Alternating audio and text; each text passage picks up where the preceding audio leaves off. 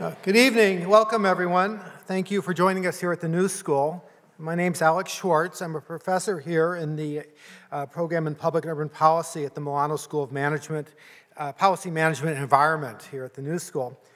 The New School is very proud to join The Nation magazine this evening in presenting uh, this event, Sanders versus Warren, Time to Choose.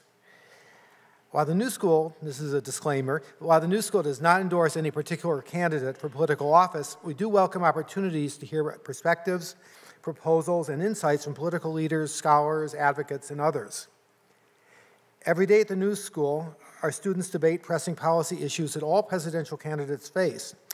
These urgent issues include the climate crisis, racial and um, economic justice, housing affordability and homelessness, the rising cost of health care, and, especially urgent to us here at the New School, the rising cost of education.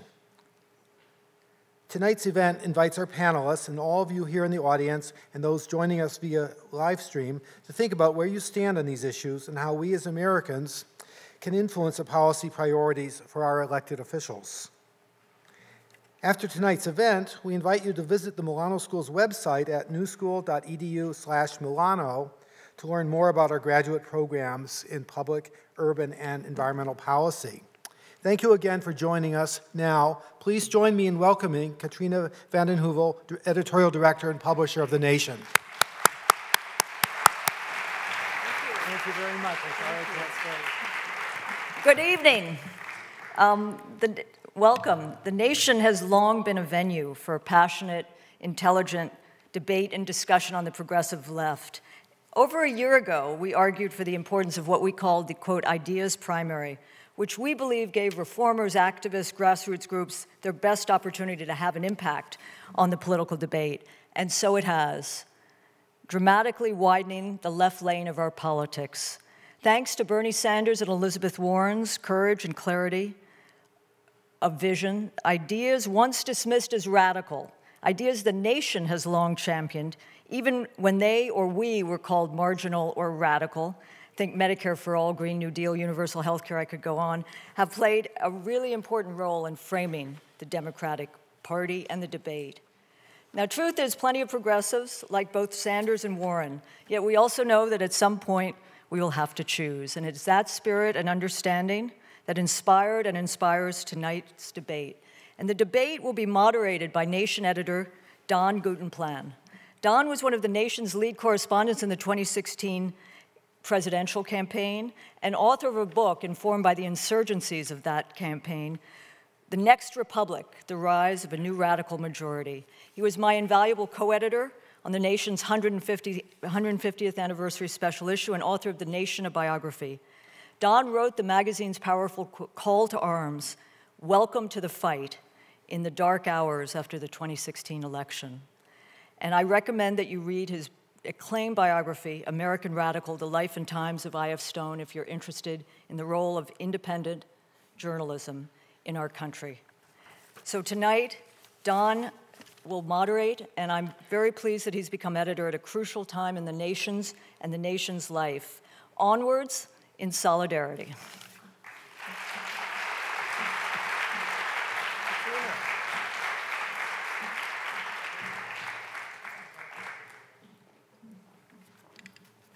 Good evening, everyone.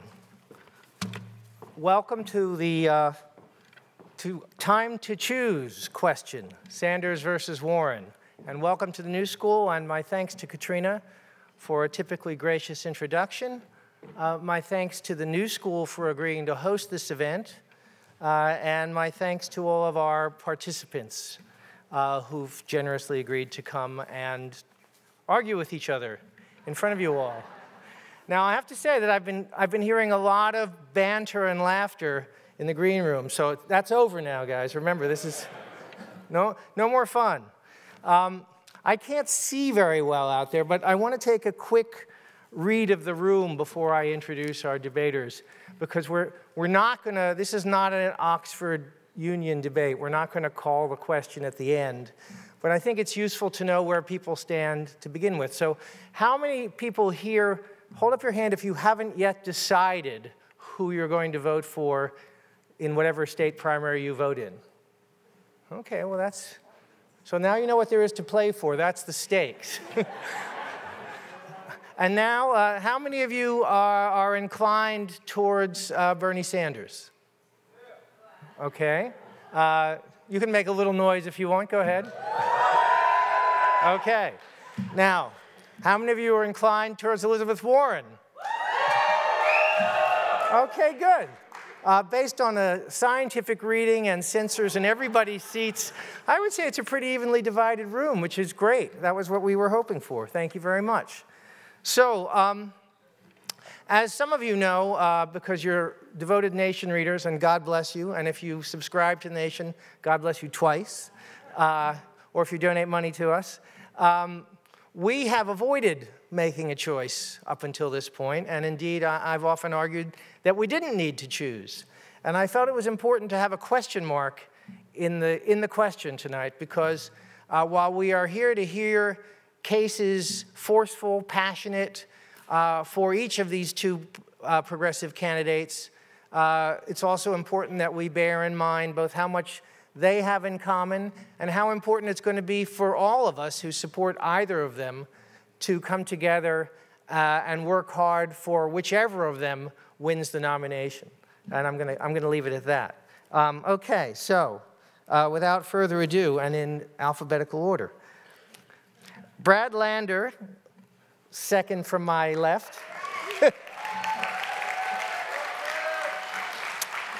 is a member of the New York City Council, the Council's deputy leader for policy, and co founder of the Council's Progressive Caucus.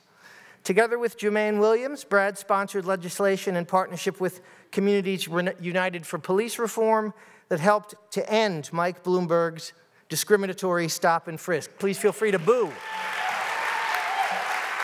We, we clap for Brad, but how do we feel about stop and frisk? Little, little, yeah, that's good. Okay, good. Working together with labor unions and workers' organizations, Brad has led successful fights to win groundbreaking laws that protect freelancers from wage theft, thank you, give fast food workers a fair work week, and to guarantee Uber and Lyft drivers earn a living wage. Brad also serves as chair of Local Progress, a national network of over a thousand progressive local elected officials in 45 states. So thank you, Brad. Morris Mitchell, to my immediate left. Now, is it Maurice? It is Maurice. My apologies. It's the French spelling and pronunciation. Yeah, no, that's. I've been in England too long. The national director of the Working Families Party is a widely recognized Yes, let's. Okay, let's hear it for the Working Families Party. Good. Is a widely recognized social movement strategist, a visionary leader in the movement for Black Lives, and a community organizer for racial, social, and economic justice.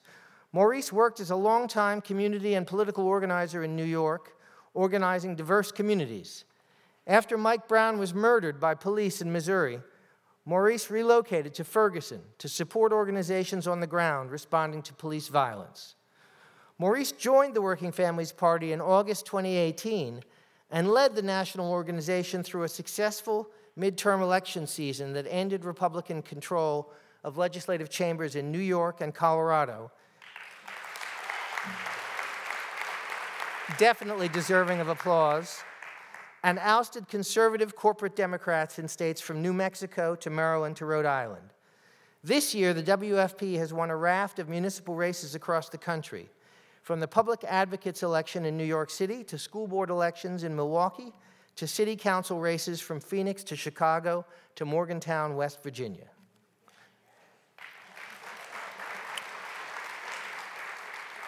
All right.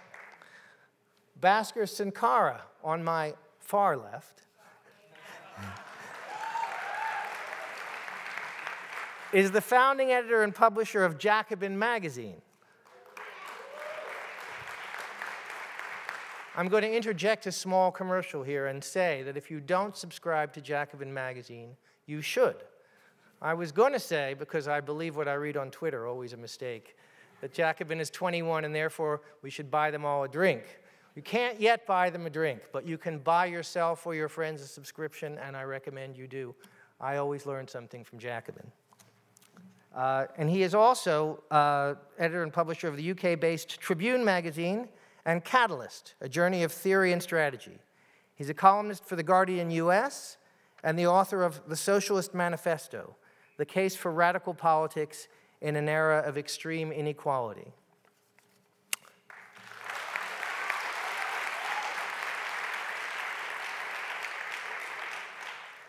And last but by no means least, my, my friend Zephyr Teachout, and I'm sure you can figure out which one is Zephyr, is an associate law professor at Fordham Law School, the author of three books, including Corruption in America, a book I also recommend you buy, and the forthcoming Break 'em Up. She's a leading anti corruption scholar and lawyer, and her work appeared most recently in the House Judiciary Committee's impeachment report. She is one of the, the few sadly few, emoluments experts. Don't laugh, it's a really important subject. And if there were more emoluments experts, there would have been a much stronger article of impeachment. Uh, and was a lawyer on the first ongoing case against Trump for taking foreign governmental money, a case that is still ongoing in district court here in Manhattan. She has run for office, endorsed by The Nation magazine, I'm proud to say, most recently for New York State Attorney General, where she was also endorsed by the New York Times. Yeah, yeah, yeah. and she is a proud member of the nation's editorial board.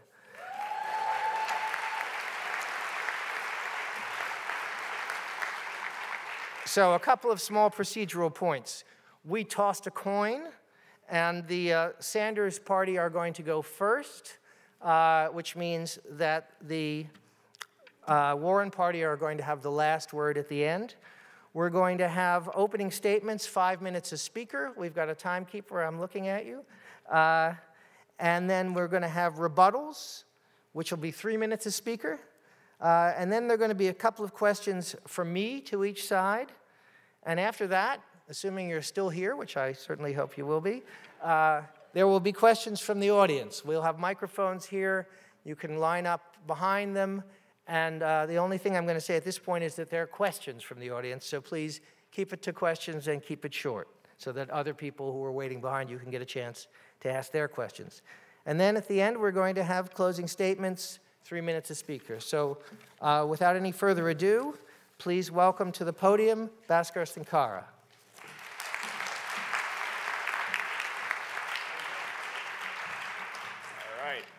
Well, to begin with, thank you all for coming out on a Monday night.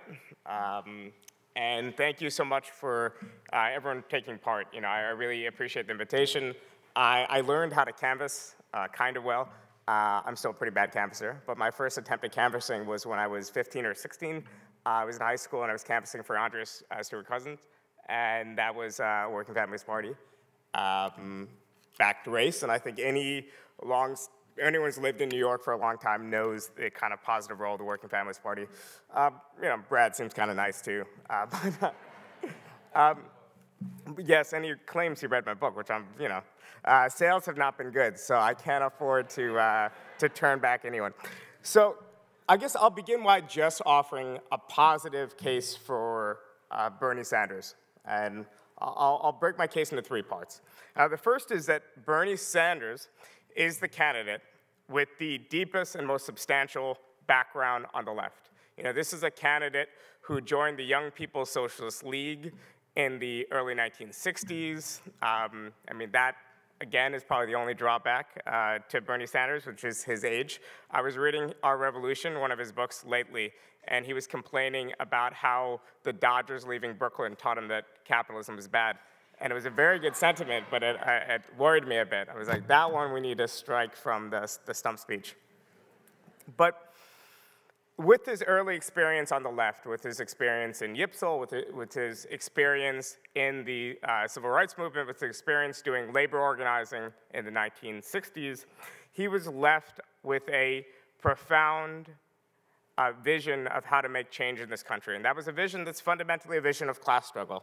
The idea that the wealthy and powerful that control this country won't give up anything without a fight, and that we need to organize ordinary people into a broad-based coalition for change.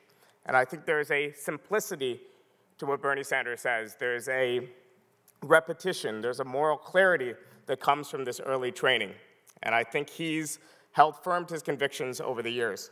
Um, I think what's important to note, and I'll, I'll get into later, which is that Bernie Sanders is a outsider in uh, Washington, but he's not a fringe radical. This is someone with a long uh, uh, period of, of experience. This was someone in the 1980s who, in a still relatively conservative state and relatively conservative, the changing Vermont, was able to take power in Burlington and was able to successfully govern and administer an executive, even with hostility from the city council. This is a candidate who ran independent races throughout the 1990s and who outperformed Democrats. He outperformed Democratic uh, candidates at the presidential level and even the most conservative parts of Vermont, like Vermont's Northeast Kingdom. This isn't a candidate that just has a fringe outsider vision, says a bunch of stuff, and, and rallies the base. This is someone who actually was able to even work with Republicans and get, Uh, when he was chairman of the Veteran Affairs Committee, get real benefits and real gains for veterans and their families. This is someone who's been able to participate in Washington while maintaining a profile as an outsider. And I think that's a perfect combination for, for a candidate. The second point is that he's a candidate that already has a mobilized and activated base. He has a small dollar fundraising base that rivals any other candidate in, in the history of the United States. It's the reason why he's brought more money into this race than any candidate other than um, the billionaires. He has activist energy, he has a mobilized constituency, and his base already has a mass character. A lot of what the Democrats were complaining about during the debate, the fact that Bernie Sanders has some supporters saying certain things on social media, and there's a certain chaos to, the, to, to um, that discourse. Of, sort, of course, we would condemn some of the statements that were, that were made, but they're a testament to a candidate that has a mass character. You know, this is a candidate that, that has activated, engaged, and mobilized people. Most importantly, Bernie Sanders is the most electable candidate in a general election.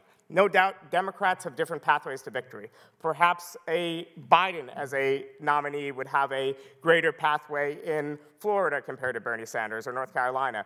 Perhaps Bernie Sanders' best pathway to an electoral majority is in the upper Midwest, and so on. But we know that even though only one fourth of Americans identify as liberals, there's almost two fifths that support Medicare for all, that support a Green New Deal, that support federal uh, action on jobs, that support a shift in the US uh, uh, free trade agreements. Now, this is the type of coalition that goes beyond just the liberal coalition. And finally, this is the coalition that is more than just the ideological left. This is the mass base of American egalitarianism. And I think Bernie Sanders is the only candidate that can, that can really mobilize that base.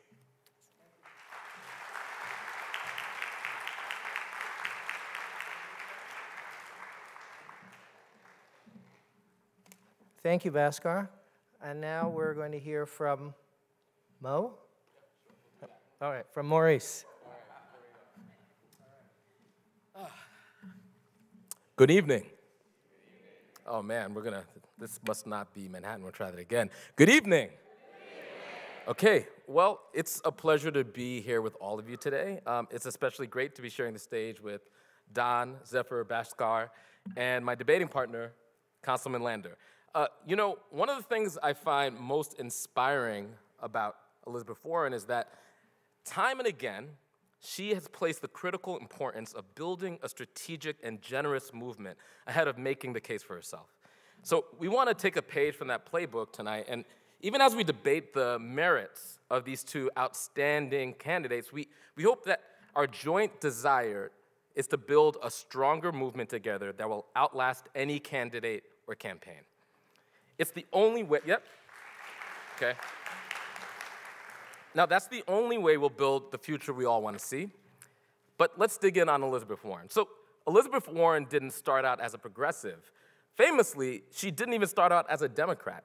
Um, like most folks, for much of her life, she was ideologically underdeveloped um, and accepted the status quo orthodoxy of the time, you know, neoliberalism, trickle down economics.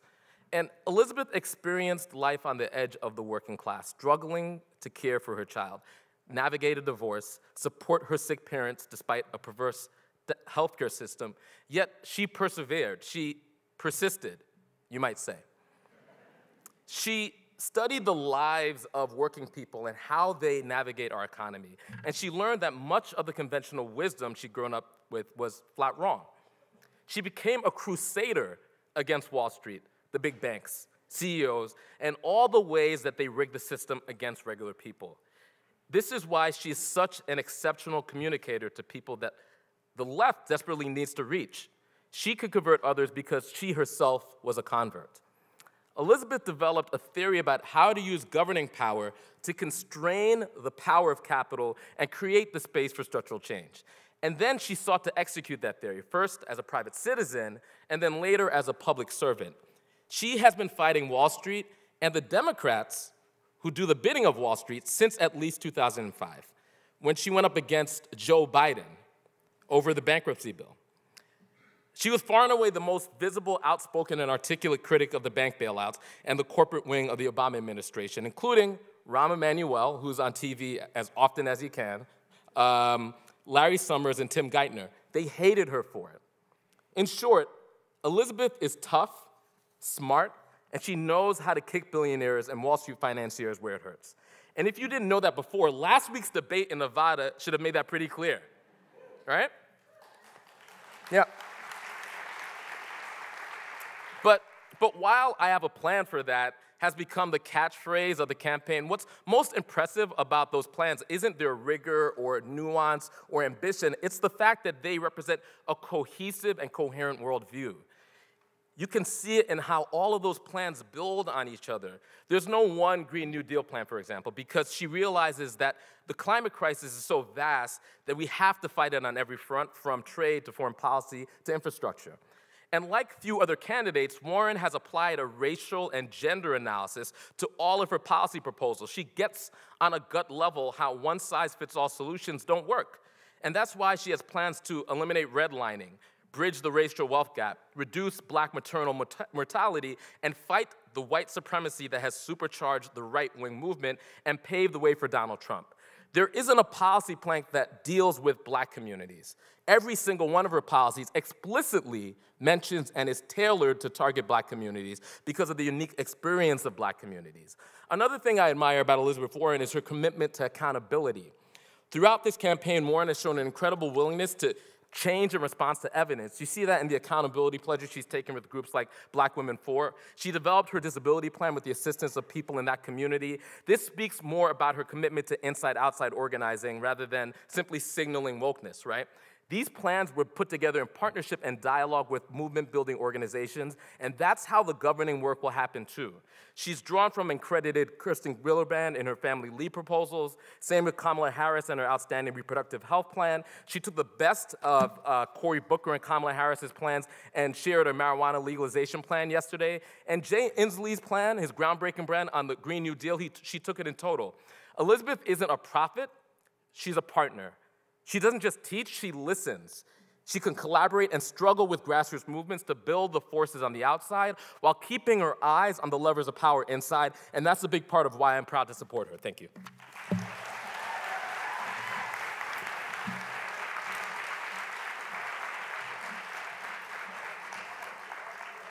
I have to say, I'm really impressed with our speaker's brilliant timekeeping. Thanks very much. And now, Zephyr Teachout.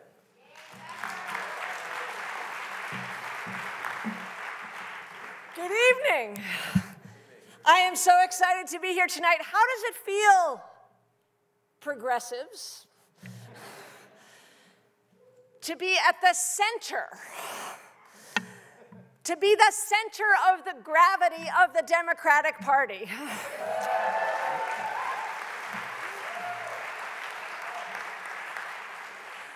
I, I, I, I told uh, Maurice and Brad that not only am I willing to fight for somebody that I don't know, but I'm so happy to fight with people that I know. I have so much deep respect for um, the national leadership and for Brad also in, in New York, but also the national leadership that um, Brad and Maurice have shown in building the progressive movement to the extraordinary moment it is today. And I just want to echo Maurice's important, serious moral call because this is actually about um, our, our coming together is actually about the well-being of all the people in this country is we are in this fight together and, and, and if you ever have a moment where you're feeling a little, it can be hard, where it's like, ah, there's two candidates and I love them so much. And you feel the tension. First of all, remember Mike Bloomberg and that we have to make sure that the Democratic Party is the Democratic Party for people, not for oligarchs. And, and second, and I'll get, i am going to talk about Bernie in a second, but I actually think it's been really important that we have had not one but two strong progressives in this race. I think that has been incredibly valuable in shifting the center of gravity this year. So I've known Bernie Sanders a, a, long time. I was 22 years old, and I saw a notice in the newspaper saying, Come talk to your Congress member about NAFTA. I was telemarketing at night for money. I was living in Vermont, which is where I grew up. And so I took the elevator up to a brown bag lunch, and in those days, brown bag lunches included bringing your peanut butter and jelly sandwich, which I brought. And listened to Bernie Sanders talk about his recent visit to Mexico, his serious conversations with workers uh, in Vermont, and his decision to oppose NAFTA because of what it was going to do to workers. I that was 1994. Now, think about 1994. Actually, it was the fall of 93. 94. The bloodbath, the Gingrich Revolution. Democrats lost seats all across the country, but not Bernie Sanders, who won in Vermont against that Republican onslaught. And I remember talking to a woman in her 80s that year uh, she, she, said she only voted for Republicans and Bernie Sanders. Um, because uh, he talks about the real things, you know, like dental care. And I, just give me a second. Dental care really matters, and Bernie Sanders' lifelong advocacy for dental care and dental clinics, successful fighting for dental clinics around this country, has transformed thousands of people's lives. Um, she said he talks about real things. He's honest, he's independent, and all the people at my hair salon feel the same way. It showed in the votes. I also got to work for him in 2006 when he was running for Senate. I did a brief job for his campaign. That year, a Republican in Vermont won the governorship. Sanders won the Senate seat with 65% of the vote. And I spent some time on the streets of Burlington where he had been mayor. And people were scared when he became mayor at first. He won by a few votes. He, his economic development in that city was extraordinary. And the naysayers came on board and supported that. And if you go to Burlington today, you can see the effects of his great mayorship. And he'd walk down the street and people would say, Hey, Bernie, I've got a problem. And he would answer it, seeing his job as working for the people. I, I think when people see Bernie Sanders, their biggest concern is not whether they share his values, because people want a Green New Deal. They want Medicare for all. They want a foreign policy built on peace and diplomacy. Their concern is just really about electability, like, can I dare dream that big? I will tell you, he has won the most votes in Iowa, he won New Hampshire, and he won Nevada with an extraordinary coalition, including moderate voters and an overwhelming majority of Latino vote, which is really going to matter for the presidential election and going to matter enormously for down ballot races.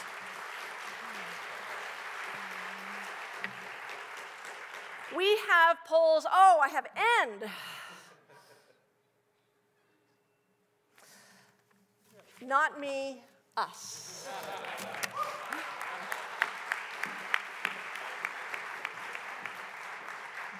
Thank you, Zephyr. Remember, they'll all get another bite. And now, Councilman Lander, thank you. Thank you, Don. I'm really happy just to be Brad here. It's uh, an honor to be up here with Bhaskar and, and Zephyr and, and Maurice and this whole nation crowd. Thank you for being here. It's obviously a very unusual debate where the real goal is to build progressive solidarity for the future. Um, I want to drill down on Elizabeth Warren's theory of change and her interconnected approach to governance. And the model for this is obviously the Consumer Financial Protection Bureau, one of the shining progressive successes of recent decades. And to make it a reality, Warren, then just a law professor with no formal power, used a canny inside outside strategy to overcome stiff resistance from Wall Street, from Republicans, and even from within the Obama administration. And when she faced efforts to water it down, she fought like hell. My first choice, she said, is a strong consumer agency. My second choice is no agency at all and plenty of blood and teeth on the floor. My 99th choice is some mouthful of mush that doesn't get the job done. Warren understands, like few politicians, that you need a firm grasp of the plumbing, of the institutional forces, of how corruption rigs the system, and you need outside pressure from activists and people mobilizing to win any kind of big structural change. And I really admire that work, especially as an elected official. That's how we won the fight on stop and frisk. That's how we navigate internal forces to make change. That's why we joined the fight for 15 to turn poverty jobs into dignified ones, understanding the plumbing and teaming up with activists who are building the power for change. And because Elizabeth Warren did that, because she focused on the role of corruption, because she understood the plumbing, because she built a coalition and fought like hell, the CFPB has returned over $12 billion to regular Americans who were cheated out of that money by banks like Wells Fargo and Bank of America. When Elizabeth talks about big structural change, she means it and she gets it done. That's why corruption is first on her agenda, something I know very important to Zephyr, uh, because unrigging the rules is critical to weakening the stranglehold of organized money on our system and opening up the doors that make change possible. That's the logic she would bring, not just to making the CFPB, but think about it the EPA, HUD, the Justice Department, into agencies under her leadership that work for people and not just for the powerful. You could see that same logic in her two cent wealth tax, focusing on the corruption of wealth inequality, and then using governing power to deliver universal child care, public education, debt free college, confronting the affordability crisis that is squeezing millions of families. And her healthcare proposal, which I'll be glad to talk about in questions, is really another good example of her plans to strategically use government power to push what's possible, even if it isn't yet. Now, of course, having the best governing strategy doesn't mean much if you don't win. And the central question that has hung over her campaign is electability. Now, let's be honest, a lot of that is simply sexist bias. It is, it is. Um, I'll say more about that later. But still, we do need to focus on the question of who can beat Trump. Now, as Maurice said, anybody who watched that Nevada debate has to love seeing what she could do on stage against an arrogant billionaire. Um, and actually, let's pause here for one more quick straw poll. Regardless of who you would support, who here would love to see Elizabeth Warren take on Donald Trump one on one on the debate stage? All right, thank you. Um, Elizabeth defeated a popular moderate uh, Republican who was backed by Mike Bloomberg uh, in a state that keeps electing Republican governors. And she didn't just win. After she won that fight, she became a symbol of resurgent progressivism, willing to take on CEOs and billionaires, bringing the fight for working families back to the US Senate. Now, we have to win this year, but we also need to build durable power for the long run so we don't wind up right back here again. And that's why that theory of change is so key for the longer term. Focus on corruption, understand the plumbing, build a big coalition, fight like hell, unrig the rules, make sure those who have been excluded by racism and sexism and the abuses of power see themselves in the fight, use the tools of government to deliver broad, tangible benefits, repeat. And I'll let you in on a secret that is really every one of the plans. Uh, it's the difference between transactional politics, where maybe you win but you feel deflated by compromise, and transformational politics, which is still step by step, but where you move inexorably toward that bigger vision because you are winning each time and you see that something is more is possible. That's what legendary democratic socialist Michael Harrington called visionary gradualism, and it is what Elizabeth Warren can deliver better than anybody else. Thank you.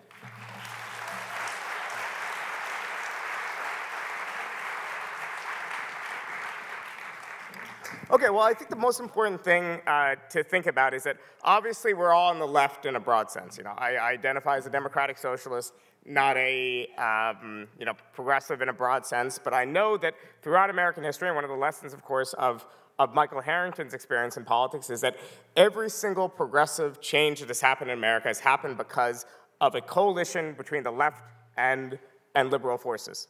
Uh, from the New Deal onward, before that, even from the original left, the left uh, that the nation was a part of its very inception, the, against the struggle against slavery onward. This was uh, the result of coalitions and alliances. But I don't think we should necessarily think in ideological terms when it comes to the general election about uniting progressives. That's not necessary. Each and every one of us are going to vote against Donald Trump. I mean, Michael Bloomberg would be a tough sell, but just about anyone else, I'm sure we would line up to vote for a Democratic candidate, even a far more imperfect Democrat than Elizabeth Warren.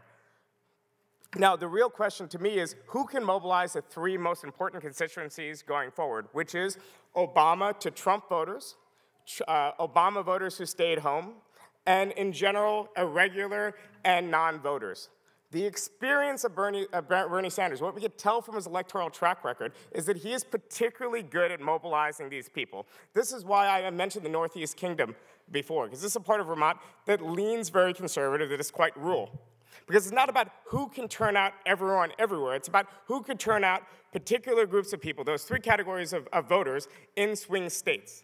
I think there's no doubt comparing uh, Bernie Sanders supporters' uh, support in the Northeast Kingdom with Elizabeth Warren's less than average Democrat, kind of replacement level Democrat, um, you know, performance in Western Massachusetts, it's very obvious to me that Bernie Sanders is the strongest choice. Beyond that, we're not actually looking at a level playing field going ahead. We're at a point where Bernie Sanders is undisputably in the lead, but now he's facing a challenge from the right. We don't know what's going to happen in South Carolina. Maybe somehow the Biden campaign will be resurgent, but most likely his challenge will be from Bloomberg. If you're a committed progressive and you can contribute to supporting progressive ideas, I think that's all the more case to put some energy and time into canvassing phone banking and making calls right now for, um, for Bernie Sanders. And obviously, we do have to look towards the general election. We have to look towards a potential convention fight where forces will be arrayed against Bernie Sanders, mostly forces from the, from the uh, center right of the Democratic Party. And I think this is the strong case for uh, actually getting together and saying now that if we want, like, what would it take to get Elizabeth Warren to endorse uh, uh, Bernie Sanders? I'm not saying Elizabeth Warren should drop out. What I am saying is that Elizabeth Warren supporters should think about uh, actually going out there and, and saying, what would it take for me to support Bernie Sanders to canvass for him? Because the next two months are going to be crucial.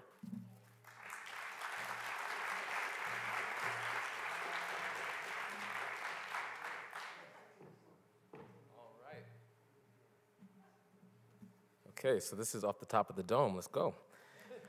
Um, so, a few things.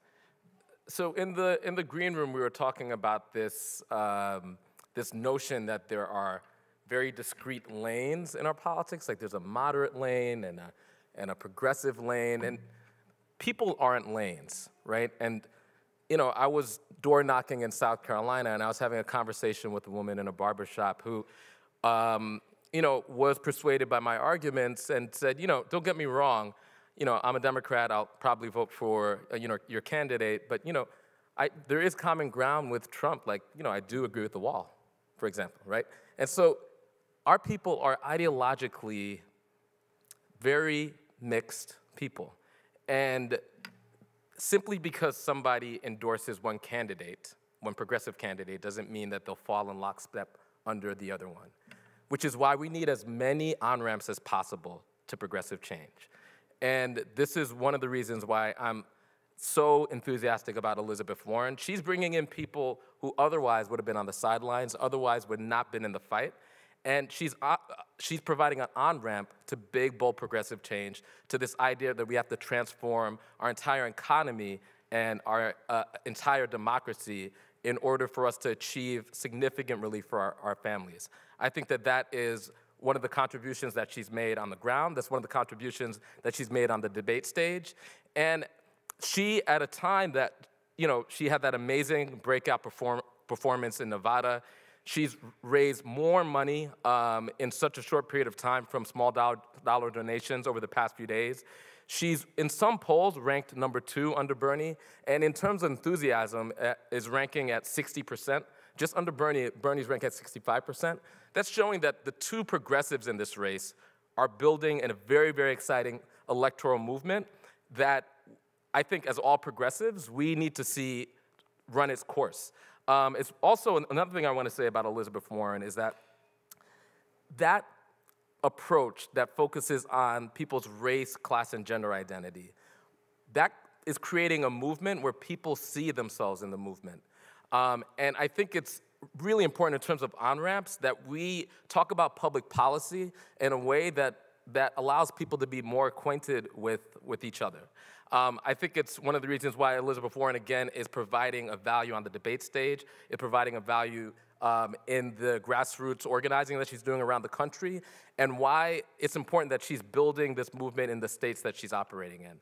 Um, so Elizabeth Warren's candidacy is, again, like I said, I'm a movement person, a lot more than her victory.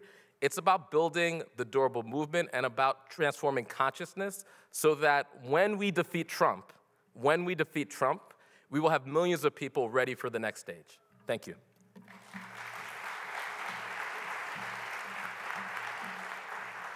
So I'm going to call the other two rebuttal speakers in a second, but I, am just going to seize the mic for a minute uh, to ask whether any of you, while you're talking, or we can do this later. I mean, I can ask moderator questions too. But you know, there is that question mark in time to choose, and there's the question of delegate math. I mean, when you look at polls, uh, one of the, the, the number that leapt out at me after Nevada was the fact that together, Sanders and Warren were well over 50 percent.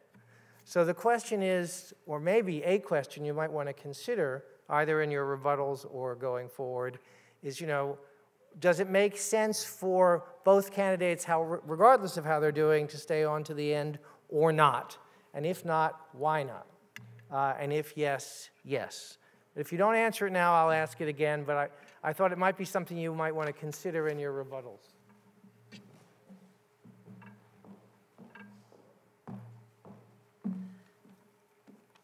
So I have run for office, and I have a commitment to never asking anybody to drop out. I do think Michael Bloomberg should stop trying to buy elections and should switch parties.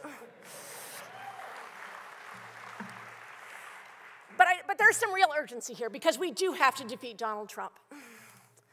And right now, the Bernie Sanders campaign and the trust that he has built across class and race, across every demographic.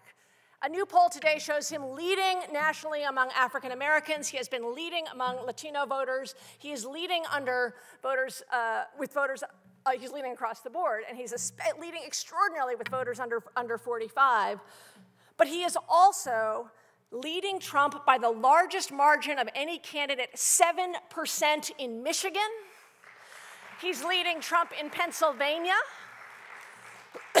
He's leading in Virginia, the swing state, with the largest margin of any candidate. He's outperforming every other Democratic candidate in Texas against Donald Trump. And that is on top of polls showing Sanders beating Trump in Wisconsin and Pennsylvania. And these are not hypothetical polls. This is not an unvetted candidate. This is a candidate who people know. They know how he calls himself. Some people know all kinds of things about him that aren't true. But this is one of the most well known politicians in the country whose smears have been thrown at for four years, and he is outperforming Trump right now. And I do think it is urgent that we take this moment to join this campaign, do your door knocking, do your phone calling, because we must come together to beat Michael Bloomberg and to beat Donald Trump. The other thing, there is no more pro worker candidate in recent American history than Bernie Sanders, and the working people of this country know that. The Spectrum workers on strike in the longest strike in New York City know that because he calls them out, he stands on the picket line, and I ran for office in 2016. And I'll tell you, I had union supporters who were door knocking for me, but I know that they weren't necessarily supporting Democrats. He has deep, deep labor support, and when he is president, President Sanders will be able to take the extraordinary trust and transform this country so we can have more equality. Even as a, even right now, using his existing platform, he has pushed both Disney and Amazon and forced them to raise their wages for people who are working for Disney and Amazon. Now imagine what he can do when he's president.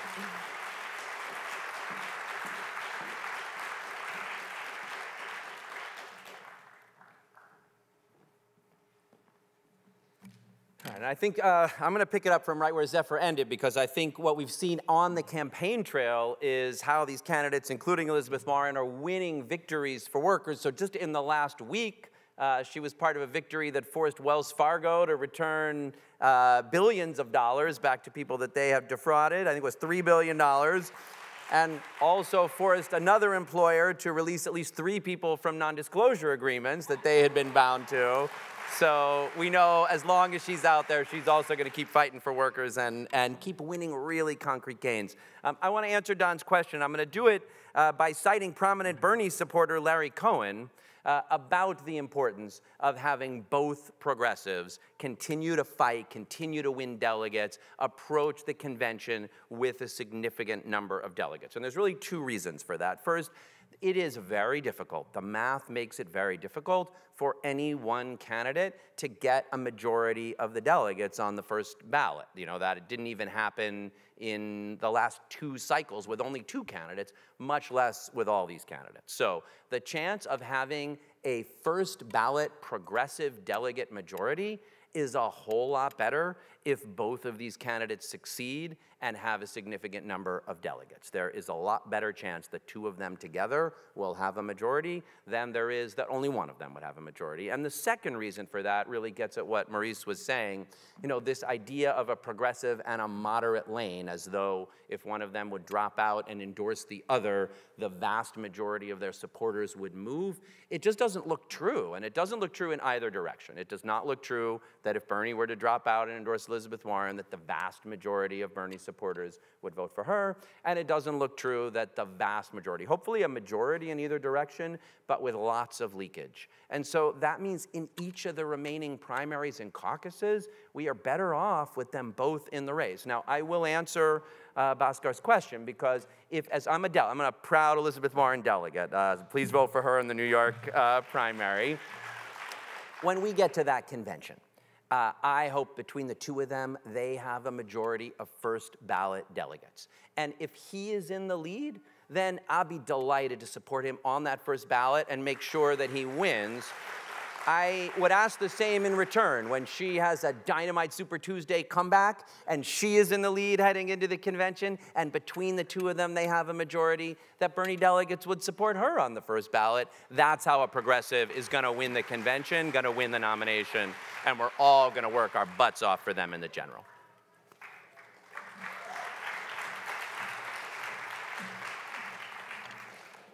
Thank you. I think that's been terrific. Can we have a, a hand for our panelists at this point?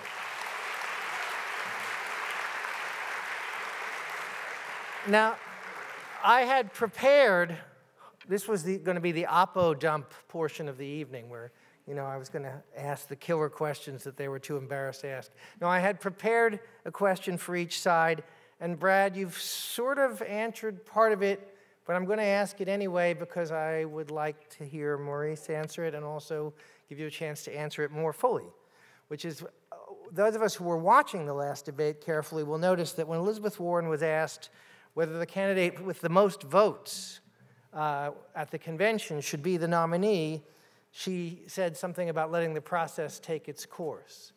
You've suggested that your own personal view is that the candidate with the most votes, certainly between these two, uh, should be the nominee. But I, I so I, I, I would like to ask the Warren supporters where you are on the with the most votes comes to the convention, do they, should they be the nominee? Do they have a moral claim on the nomination? Sure. So in the scenario that um, Brad laid out, I think absolutely any every progressive should align in that way. Now, Michael Bloomberg is inundating our process with hundreds of millions of dollars, and he has unlimited spending. In the scenario where Michael Bloomberg successfully buys enough dele delegates to have a plurality, I'd like to think that we would not honor the nature of that bought plurality. And we as progressives have to use every tool at our disposal in order to prevent the buying of our democracy, and that Bernie and Warren delegates will come together in order to make, make an intervention there. So I think we need to have as many tools at our disposal because this is still a very, very fluid race where we have an unlimited spender attempting to buy our democracy and buy delegates in order to specifically play a role of kingmaker in that, in that brokered convention scenario. So in the scenario where it's a progressive, I think it's easy. But in a scenario where that person is Michael Bloomberg, um, I think we should be resisting Michael Bloomberg and his agenda at all costs. Um, so I, you know, I, I, for all its flaws, I really believe in majoritarian democracy. And you have to win a majority. So I will say, like, I don't think the right answer is whatever candidate with the plurality who has the most votes but not a majority should be the nominee. Um, I wish we had ranked choice voting. That would solve this problem more effectively than this cockamamie system that we have. But given what the rules are, the best bet I think we have is for them both to do really well. I think between the two of them, they have a good chance of having a majority of progressive delegates on the first ballot before the superdelegates come in. And then, yes, like whichever of the two of them is ahead, that's what we should do. Um, but I do think like you got to get to a majority. That is a sound democratic principle. Does work? Yes, good. So I don't have to get up again beginning to feel a little like a jack in the box. Um, thank you. I think that does answer the question uh, pretty thoroughly. And uh, for the Sanders people, um, my question is Isn't Elizabeth Warren right that if we really want to enact an agenda for radical change, we need to do something about the filibuster? Well, yes, I think, I think the filibuster needs to be abolished. Um, I think that at, at various times, uh, Democrats of all stripes have saw the filibuster as just a defensive mechanism to prevent Republicans with a minority rule, which, which of course still gives them a majority because of how undemocratic our political system is, uh, from enacting and causing great harm onto working communities. Um, but I think in the long run, of course, the filibuster needs to be abolished. But fundamentally, the challenge at the moment and the great success of the Sanders campaign won't necessarily just be in writing policy, but in changing the conditions in which policy is written. You know, we've already had a candidate who ran on a public option uh, in 2008 and won, and we didn't get a public option. You know, I, so I think uh, one of the, the, the, things I like about Sanders is, again, this potential transformation, this uh, injection of new voters into, into the process, this broadening the base of politics. That's why I don't even like calling it, even though we're progressives and we're socialists, it's none of that. It's this broader egalitarian coalition that we're just tapping the, the tip of the iceberg on. But, uh, but of course, I'm, I'm, against the filibuster, and um, it would behoove, I think, uh, Sanders, once he's in power, to think about these structural mechanisms and what we could do to, to really transform some of the st structures that make America less democratic than it is today. So, uh, Zephyr, do you agree with Sanders on the filibuster or Warren? I, I think I largely agree with um, what was already said. I think that there's a kind of politics where we look for the one or two things where there's an area of disagreement. Like, I, I really like democracy uh, dollars, the democracy vouchers, uh, which Sanders supports and Warren hasn't come out.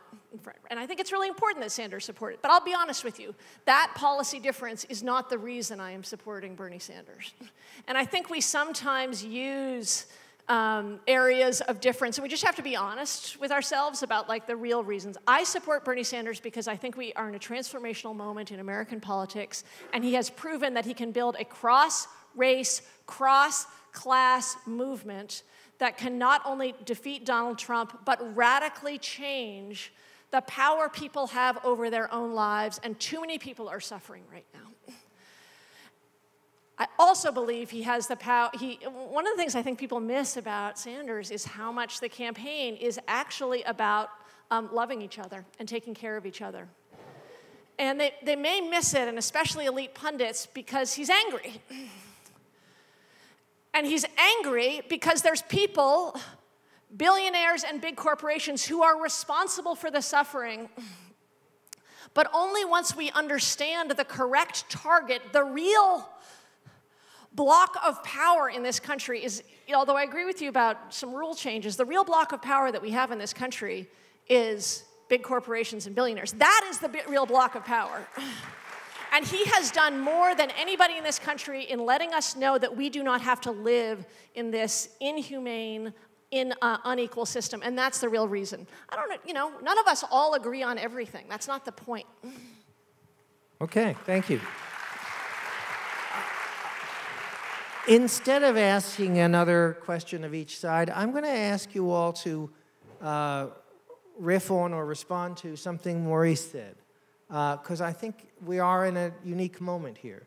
We are in a moment where there's a democratic process uh, which is playing itself out, but which is being distorted by a kind of uh, black hole or whatever you want to call it of huge amounts of money being injected into the system uh, which attracts media attention, it attracts hangers on, you know, it attracts all sorts of fawning, it attracts uh, mainstream corporate support. So, Maurice, what you said that struck me is you said we, we must do what we can to defeat Bloomberg at all costs. And I guess my question, and this is an open ended question, I don't know my answer to it, but I'm really interested in your answer is what do we do if Bloomberg buys the Democratic nomination? you want to well, well, I mean, I mean, I think I think we'll we'll find out soon what what happens, and I'm I'm I believe that that people will reject Michael Bloomberg and what he's what he's doing. I think he's going to win over a layer of, of of voters that are just tuning in, uh, but a lot of the voters who are watching Bloomberg ads and uh, kind of misleading ads and make it seem like he was endorsed by Obama and are, are probably going to be less, are probably low propensity voters that are less likely to turn out. I hope they turn out, by the way. Uh, I think in the end, what he's going to do is prevent the consolidation around Biden.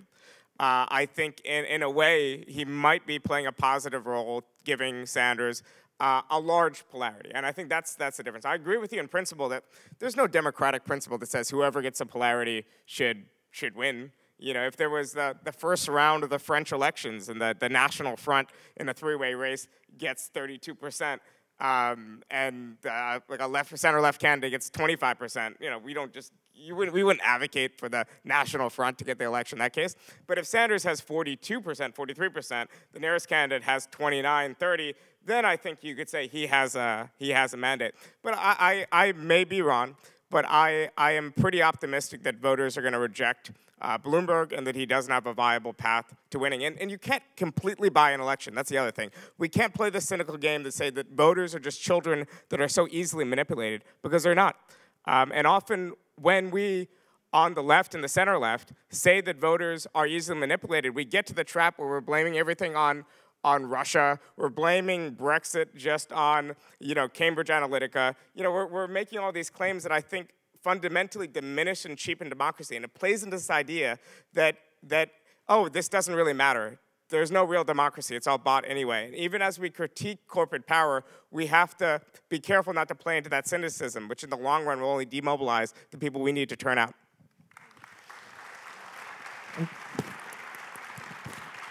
Zephyr? I, I, I, because I study corruption, and therefore Aristotle, I just have a brief thought about Michael Bloomberg and oligarchy. According to Aristotle, oligarchy is the selfish rule of the few. When we look at modern cases of oligarchy, people often look to places like Ukraine, and one of the defining features is that you have candidates for office who are deeply invested in a particular essential industry. They're not just rich accidentally, but have power because of their industrial power. And also, you have candidates who sponsor or engage or directly run for office but their relationship to party is totally non ideological. They, will switch parties. They'll sponsor one party one year and sponsor another party another year. And the absence of ideology is one thing that we look at as like, this is a real problem. This is somebody who's just, the, the party system isn't working. So, all I want to say is we are not going to let an oligarch um, take over the Democratic Party. And I think a lot of us, that's worth clapping for. Um, a lot of us in the room who fought Bloomberg on so many things right here in New York City, we have a responsibility in the coming months to make sure people know there's been a lot of focus rightly on stop and frisk and on the non-disclosure agreements. But like let's look at the list.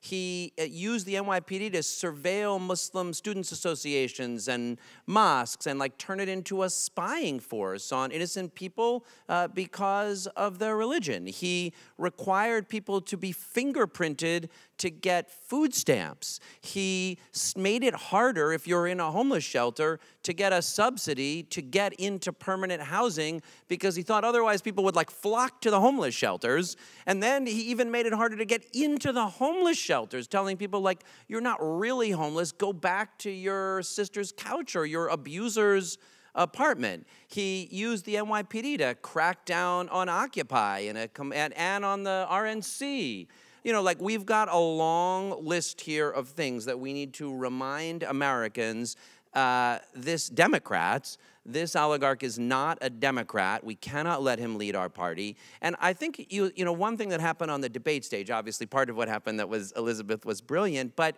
he is uncomfortable. But a second thing that happened is that he's uncomfortable because he's trying to run as a person he's not. You know, like he really believed all those things he did when he was here. He defended them to the hilt. He thought was that was the right way to govern. He still thinks that's the right way to govern. And you can in ads present a different persona than the one you have, but it's very hard to get up on stage and pretend to be someone that you're not.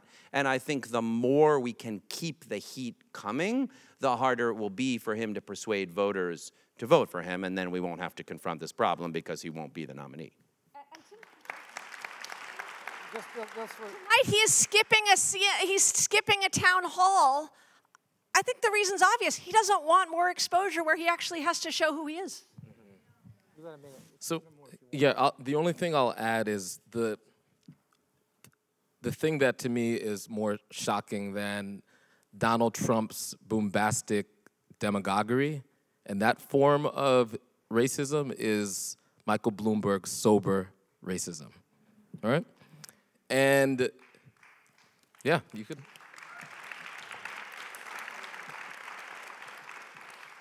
Now, I largely agree that as organizers and as people who are interested in building um, a exciting and positive uh, movement, we can't fall into cynicism.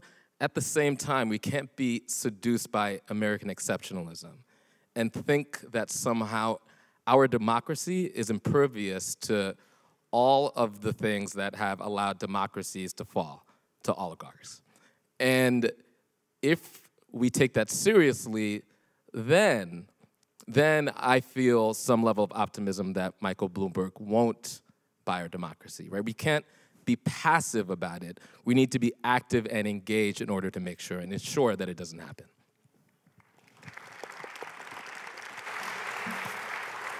Okay, so now is the time for audience questions. There are microphones here and here. Uh, if there's something you'd like to ask, please stand at a microphone. I'll call on you, uh, and then if you're directing your question to any one specific person on the stage, please say who you're directing it to. And before you say anything else, please say who you are. Uh, and as I said before, please keep your questions questions and keep them short because if you keep them long, I'm going to cut you off. Um, ma'am, why don't you go first? Okay, can you hear me? We just about, maybe a little louder. Just hold the mic real close. That's Okay. perfect. Uh, I think we are extraordinarily blessed to have this choice. And it's uh, unimaginable, uh, but it's very good to imagine it. Um, my, one of my concerns is that if Elizabeth were to drop out, then Bernie is alone in all these debates against all these corporate shills. So I would uh, like to, um, I guess, plead, plead that both candidates stay in the race. So can I can I rephrase your question as for the we assume that the Warren people want Elizabeth Warren to stay in. So, so can I rephrase it? And we want Bernie Sanders for- to stay in as for- well. for the- We're not can for I rephrase dropping it out so either. You, you, you want to know whether the Sanders people also would like to have Elizabeth Warren stay in? I mean, you've got to ask a question. I'm sorry. Yes. Okay. Is- I, okay, I- go ahead. I gotta just tell you, Bernie Sanders is an amazing, consistent, strong debater. And he has been his entire career. And in fact, when, when I ran for Congress, I had a communications uh, expert who I think is not, um, uh, doesn't have a candidate this time, who made me watch Bernie Sanders on Fox News over and over. because, and it's a, it's a serious point, not just about debate, but about all the different environments in which we see candidates. But you're talking about a hostile environment. Um, is that he has a really, really astounding ability to answer the real question that people want to have answered and to refocus about the real issues that are affecting people's lives. And the reason he was successful winning as a, a Democratic socialist in Vermont when Vermont was winning, when, uh, when Republicans were winning, and the reason he has been so successful is that extreme focus. And that will matter for debates in the primary, but it will also really matter with the uh, distraction efforts of Donald Trump um, uh, in the summer and fall. Bhaskar, do you want to? No, I think that's great. I, I'm, I'm like the Garfunkel of this. I, I know, I know my role. That's, that's way better than I could do. Does that mean that you have a actually much better singing voice than Zephyr? I'm not sure. What, what, what, I, what I want to ask is I think they have been admirable in the way in which they have not attacked each other, but they are getting to the point in which they're taking some of the bait to say, well, I'm better. And I would like to know whether that strategy of protecting each other and not attacking each other is likely to go forward. Do you want to? Does, does anybody want to speak to that? I, so I think it's I think it's actually really critical that um, both of them continue to point their fire towards the the third way candidates on, on the debate stage, and I think drawing drawing distinctions that are that are solid on the merits, it's fine, right? Like we talked about differences that they have, like real policy differences that I think it's important for voters to understand. But I think um, I think we need to see uh, more of both of them both of them on the debate stage. Her continuing to hit Bloomberg like a pinata, and also really challenge you know challenge on the substance um, the reason why the sort of third way corporate democratic strategy has been discredited. I think that that, that absolutely, I would agree with you, it should continue to happen. Okay, I want to. I want to get a lot of questions in, so I'm going to go to this gentleman here. Please say your name first. My name is Charles, Charles Olson. I'm wondering, I haven't heard the candidates speak much about this, and I, I confess I have not read um, policy papers, but I'm wondering um, if there are positions, or even if as, as representatives you would clarify or care to state your own opinion regarding America's largest social welfare program, which is war spending, and if there's any, if there's been any um, statements or thoughts about uh, any way we can possibly unwind some of this. Thank you. We'll just go left to right, but quickly, please. Yeah, I mean, uh, Sanders has, has discussed cutting the, the defense uh, budget, and I think most importantly, um, has been a clear and consistent uh, opponent of uh, foreign uh, wars. And beyond that, um, you know, I would like to see a candidate in the future talk about uh, particularly dismantling um, more U.S. bases abroad and, and other things that, that, I think have a very negative effect, both destabilizing countries around the world and also split, uh, spending uh, U.S. You know, treasure abroad. But I think Sanders has been pretty consistent as the clearest uh, anti-war uh, voice in, in uh, the race. I'm going to skip to the, unless you definitely want to leap in, Zephyr, I'm going to skip to the other side on that. So yeah. we, we have like one, one answer per side, then we'll sure. get more questions. In. Elizabeth, Elizabeth Warren has been on, on the record both in her anti-corruption stances, which actually goes at the heart of the military-industrial complex, but also specifically she's, she's drawn a line against forever wars. Um, and I think, you know, what's, what's also true, if we're to be honest, is that both Democratic and, and Republican presidents have been part of a consensus on US empire from ages.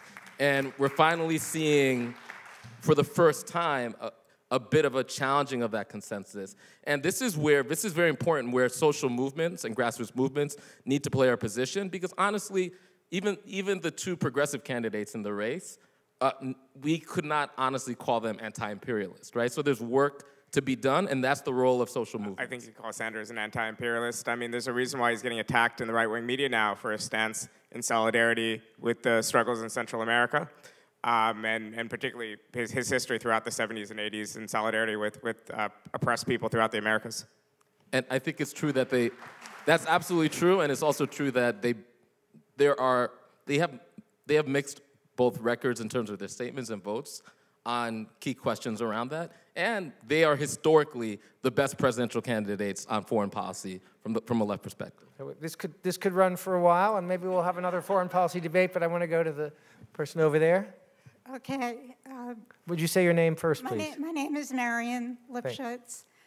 Uh, my question is primarily for Mr. Sunkara.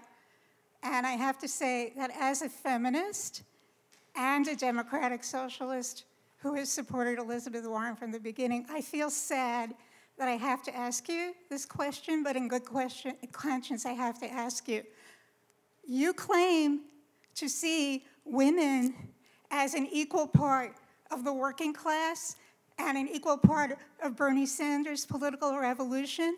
But your publication. I'm sorry, but you've got to come to a question. Yes. Okay. Your publication published an article in which a male author condescendingly referred to Elizabeth Warren's outstanding expertise in the federal regulatory process as evidence of her being a neoliberal technocrat. How does that sit with you, Mr. Sunkara? And why should I believe that you're sincere in an intersectional approach? Well, I don't believe your question in part because the word neoliberal has never been used in Jacobin, as far as I can tell. You guys can Google on your phone. Maybe it was used in passing once.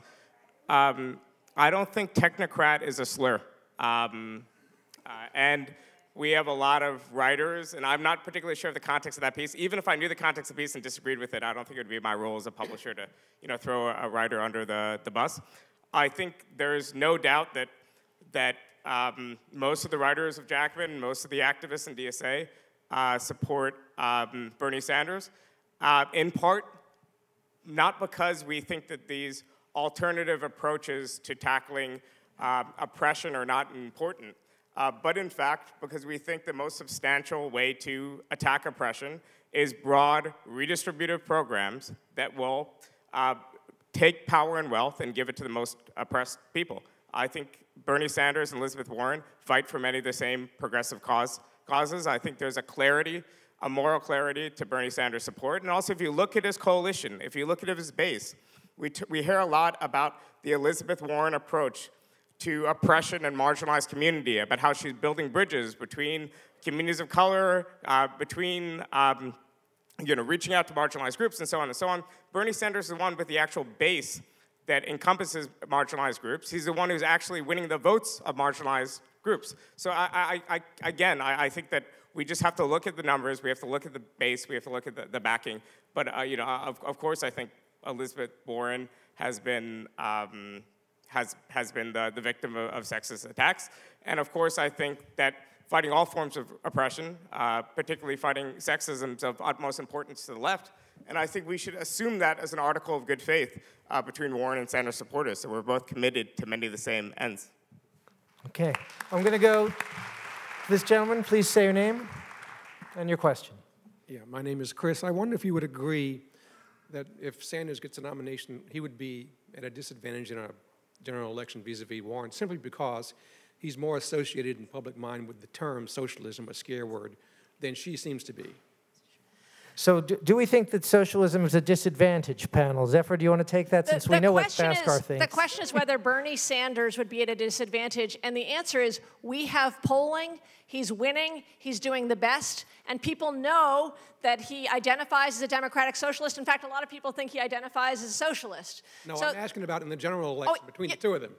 He is more identified with the term socialism no, no, no, the, than she is. Oh, right. And so what I was telling you is all that, sorry if I wasn't clear before, that the uh, poll numbers that I was giving you yeah. are all current poll numbers where people know how he's identified and he is consistently outperforming Trump more than all the other candidates and also more than Elizabeth Warren in those, in those cases. So actually one of the things that I think is really important is that there, that the thing that people think is his biggest weakness is the thing that people absolutely already know about.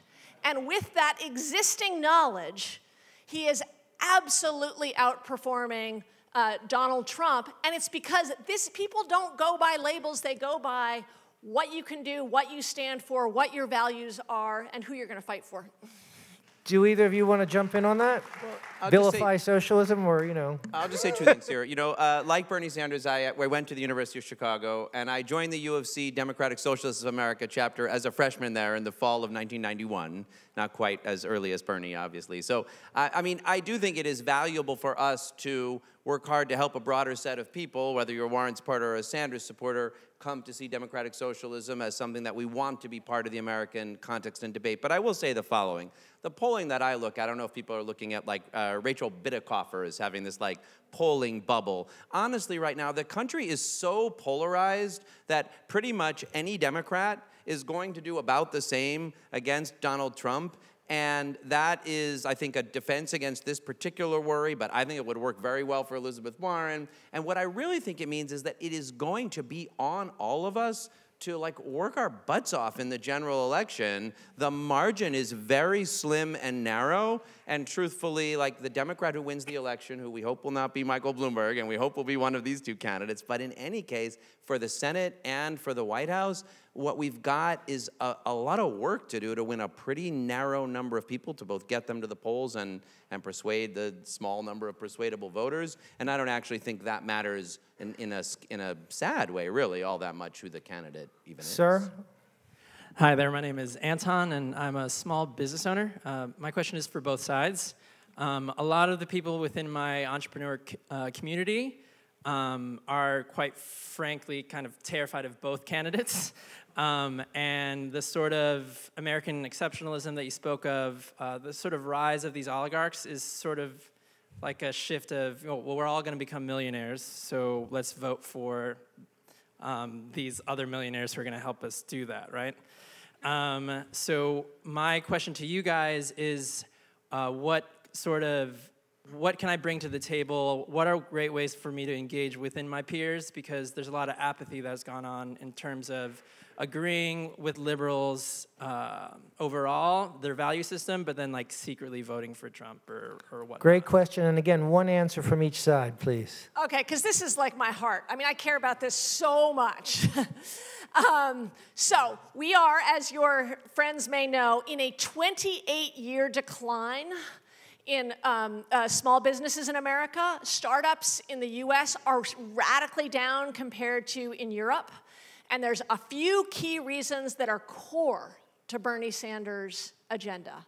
One, is we need Medicare for all because it gives people the freedom they need to be able to start businesses, switch businesses, not make choices dependent on like just hanging on for the not so great employer based uh, health care they have. And the second, and when I, I, I, was just campaigning with uh, Bernie Sanders in New Hampshire, and he talks about that freedom all the time, and he knows that from his experience as a mayor in Burlington, he worked so well with the small business community there. And second, corporate monopolies are killing small businesses in America, and Bernie Sanders has the best anti monopoly plan. It's fantastic. It was part of his uh, uh, announcement speech. I encourage you to uh, check it out. It's about building up worker power and taking on um, uh, corporate power so that we also have room for the great flourishing of, of you and your colleagues. Um, so this might actually be one of the places where we might really disagree a little, uh, because I think for folks who are thinking about small businesses and the flourishing of entrepreneurialism in the marketplace, Elizabeth Warren is the better candidate. Like when she talks about why unrigged markets um, matter to her in a pretty deep way, it is because she thinks that the kind of competition that can take place when there genuinely is a level playing field, when monopolies are broken up, um, uh, and when the rules aren't being rigged is beautiful. Like she's really into it. And I think you can see the two of them talk about it in different ways. They don't have substantially different points of view on ending the, the big tech monopolies and other monopolies. They would both focus strongly on antitrust. But I think if you want a candidate who's excited about what's possible for small entrepreneurs, for that kind of flourishing of creativity through the market when the rules aren't rigged, you'd be hard pressed to ever find like a, you know, maybe go back a hundred years to trust busting, but in the last century, you'd be hard to find a candidate who felt that way more deeply and built a policy around it more strongly than Elizabeth Warren. The gentleman on my right. Thank you. Thank you. Hi. Hi, my name is William Hanish. I'd like to ex um, extend further that very first question that was asked. I, I, don't, I, didn't, I don't personally feel it was answered adequately. Um, and I don't, I don't want, I think, you know, we can't speak in a vacuum.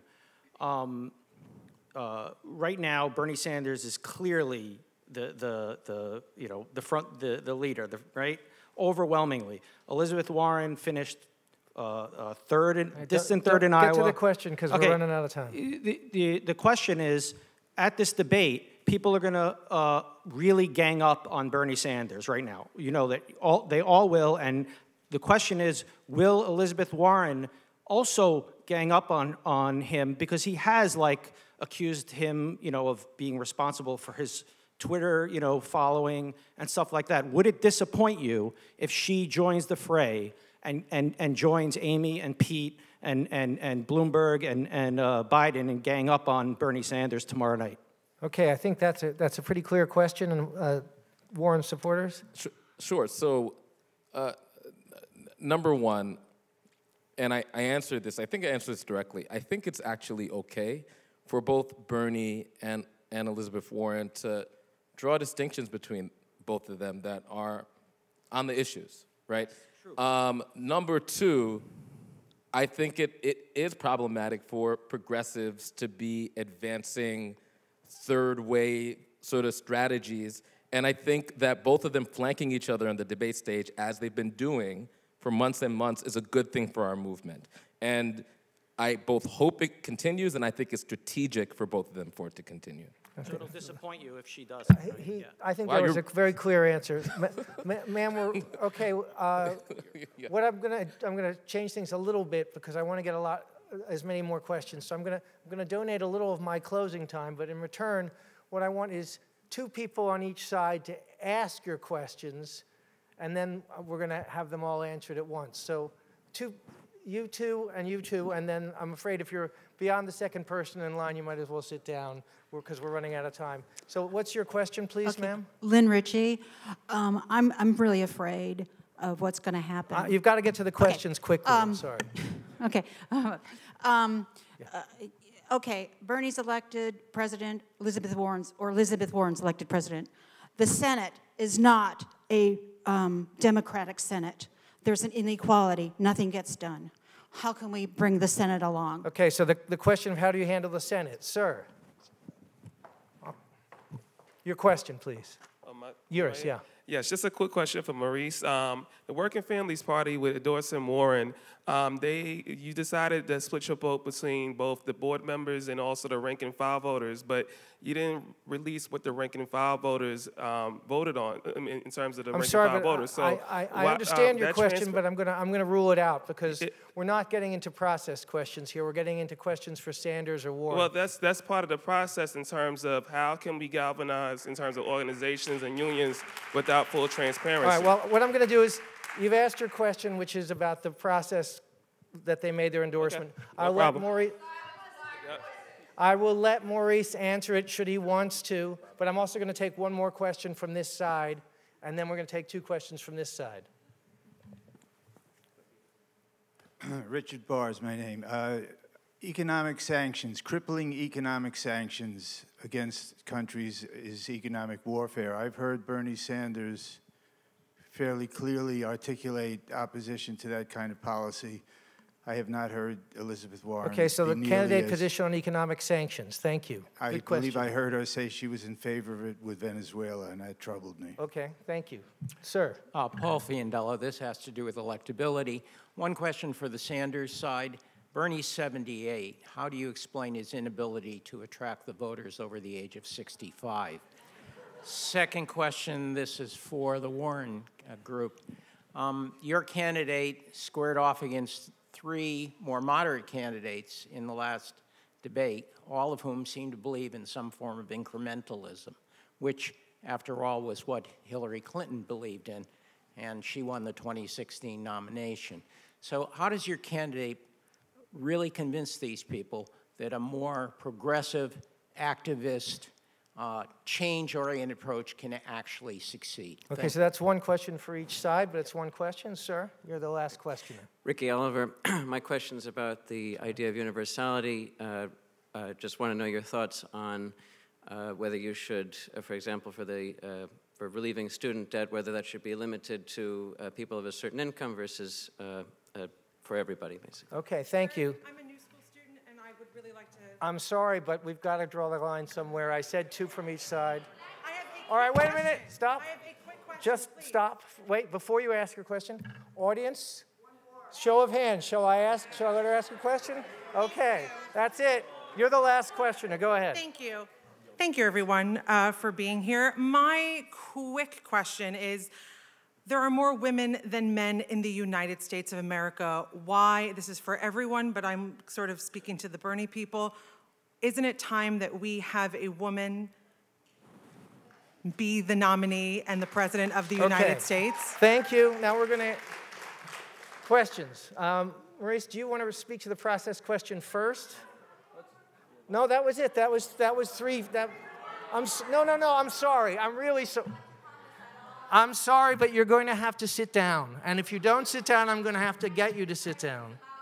In the Muslim ban? Thank you. I think I think thank you. I think that's a that's a vital concern, and perhaps we can address Okay. it either now Yeah, or in your yeah, in let your me- let me take remarks. the- let me And take- you're- let me take that, uh, I, I stand corrected. Thank you for raising it. Great, thank you. okay. So let me take the process question, and I'm, thank you that you asked it. Any venue that I get to engage this question, I, I really appreciate it. So um, there's, you know, we knew that when we endorsed, and also when we endorsed as early as we did, that it would be controversial wherever we landed. Um, we thought it was essential that we endorse because the stakes of the, of the nature of the race. Um, now, there's been this sort of uh, characterization of our grassroots members in a way that just isn't, isn't accurate. So we're in New York State, for example, where we have hundreds of grassroots rank and file union members and rank and file members of organizations like Make the Road New York and NYCC that make up our state committee. And they engage in rigorous debate on all types of questions, including particularly this question of the, uh, the presidential nomination those are the people that have been disparaged online and in other uh, venues as being somehow our board. These are our members, our grassroots members, many of which are working class people of color all throughout New York State, eh, all throughout West Virginia, all throughout Chicago, all throughout Colorado. They were generous and they understood that we are a movement and they opened up their vote to our online members who exist all over the place, including places where we aren't building and going hard in the paint every day to build the internal democracies throughout the country that make up the Working Families Party.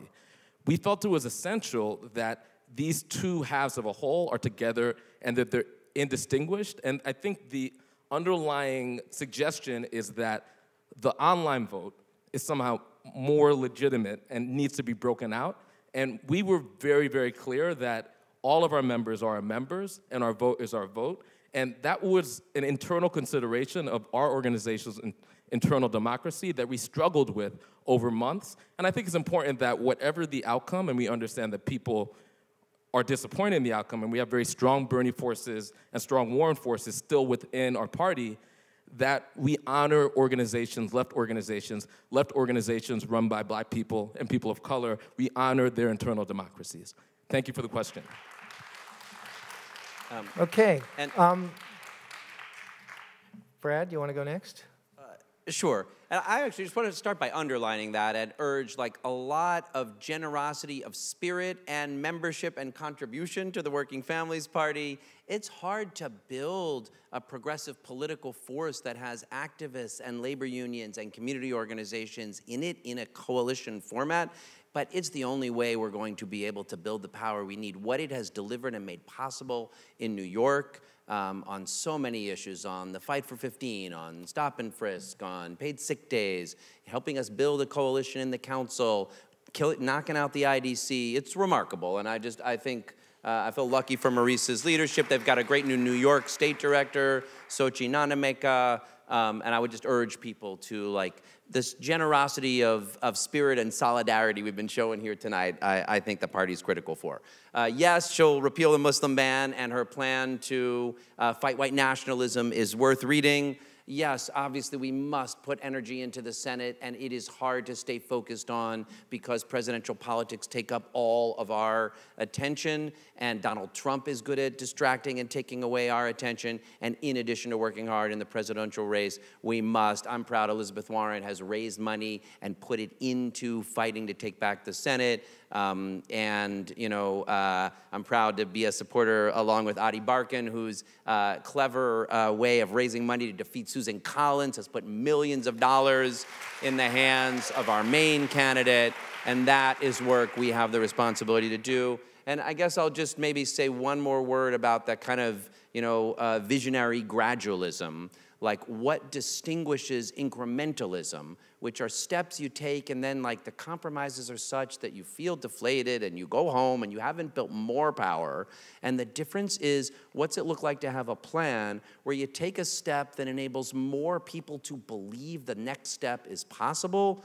That's why i actually think the idea of doing uh, a Medicare for All plan that starts with a public option but continues to focus on fighting corruption and sets the bar of saying, here's why we've got to move to single payer, here's why we reduce costs that way. Like, that's the model. And will it work to convince moderates on the one hand that the next step is worth taking? And will it work on the other hand to persuade people who see the long term vision that it's worth taking that step? Like, that's what movement building work is. And whatever you think about these two candidates and whichever way you think the best way is to get to Medicare for all, that's the work our movements have to do.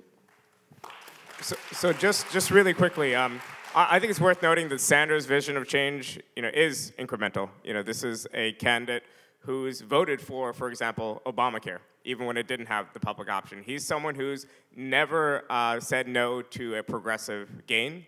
He's someone who showed a willingness to work with Republicans. He's showed a willingness to to speak um, uh, to people he disagrees with. Uh, uh so I think the vision of Sanders as a wild-eyed radical is a myth both propagated on the left by people in, in my camp, and it's a myth propagated on the right. But I, th I think Sanders is, is an incremental um, uh, candidate.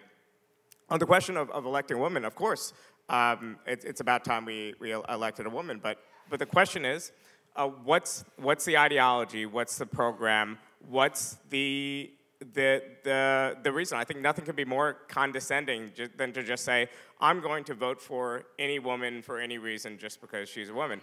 And, and, um, Okay, well, I, I, I, I, and I think that a candidate like Elizabeth Warren would not is not running on, on, on just that. She's running on her ideas. She's running on her, her, her program. Um, there's all sorts of reasons why I, as a leftist, prefer, and we've been talking about this for an hour and a half, prefer um, uh, Bernie Sanders. Um, I'd be happy to vote for a, a woman running on Bernie Sanders' program. Uh, I've voted for Zephyr before. I'd be happy to vote for Zephyr as for, uh, for president uh, one day.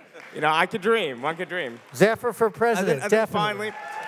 finally, um, and, and, and, fi and, and finally, That might be the um, winner of the debate. Actually, I'm not completely. Uh, actually, this will just attract more anger. But I've only voted for for, for women for president, and um, um, seriously, uh, Cynthia McKinney and two Jill Steins. Um, I, live in New York though, so don't get too angry.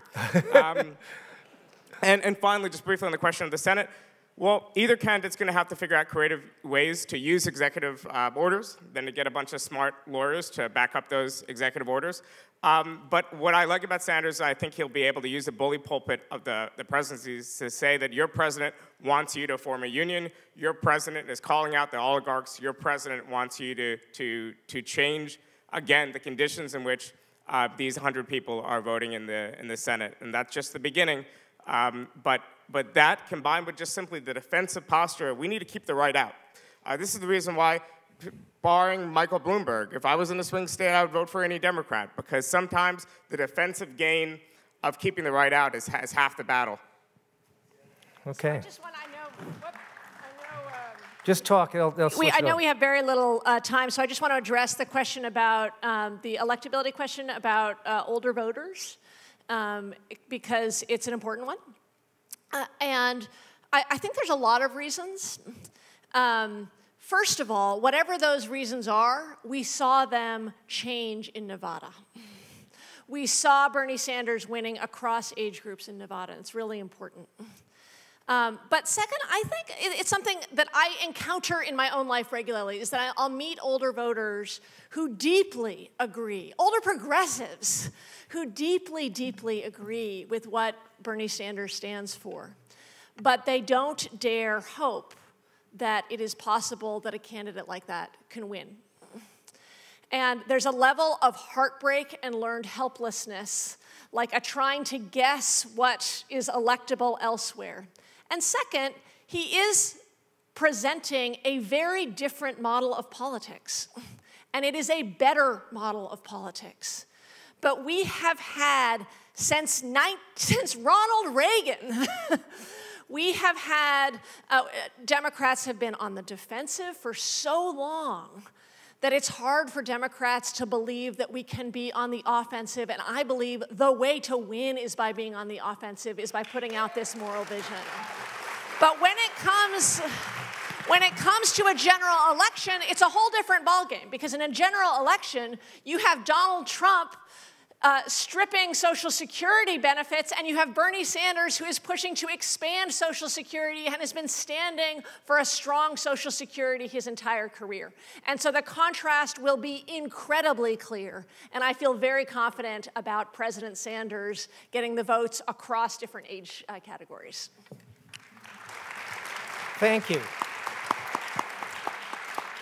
And, and thank all of you for coming and for asking great questions, for forcing me to change the rules for a good cause. Uh, I don't think there's anybody on this stage who represents a candidate who doesn't feel that lifting the Muslim ban ought to be something done in the first 100 hours, let alone the first 100 days. But we should, we should say that, we should hold them to it. Um, and I want to say something about something Zephyr said, which is about heartbreak and daring to hope. Because I think there is, there is something radical about hope that we need to discover now. And I think both of these campaigns, in different ways, have tapped into it. And that's what's been so exciting to be a, for me to be a political journalist, and I think for all of us to be political participants in this time, is that it's suddenly become okay to hope for things that we'd been told for generations weren't possible, that we were, that we were told were fringe ideas, like the idea that you should be able to go to college not based on how much money your parents had, or the idea that you should be able to see a doctor and not worry about whether you'll be able to feed your kids tomorrow, or the idea that you could be a woman and be president and not have to suck up to corporations to do it. I think, you know, to me, the most radical thing about both of these campaigns is the way they raise their money. And I think they, they deserve our thanks for that and for showing it's possible to raise money without sucking up to corporations.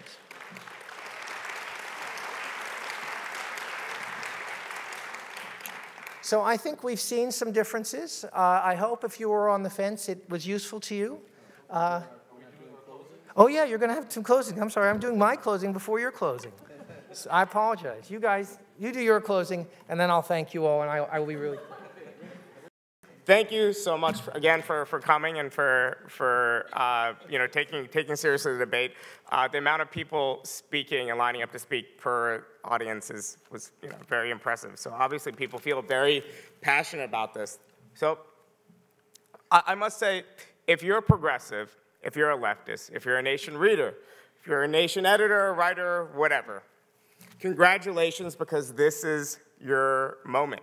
This is the moment we've been waiting for a presidential candidate who espouses our core beliefs among left liberals is the front runner for the Democratic nomination.